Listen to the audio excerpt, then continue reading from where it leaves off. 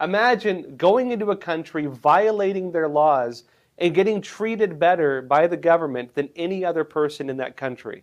Better than you know the veterans, better than the people who worked their whole lives and had to retire, better than anyone.